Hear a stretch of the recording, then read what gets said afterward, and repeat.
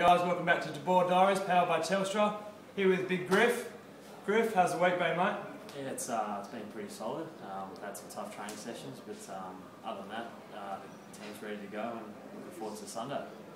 So it's your second game for the uh, for the club. How are you finding Fremantle so far?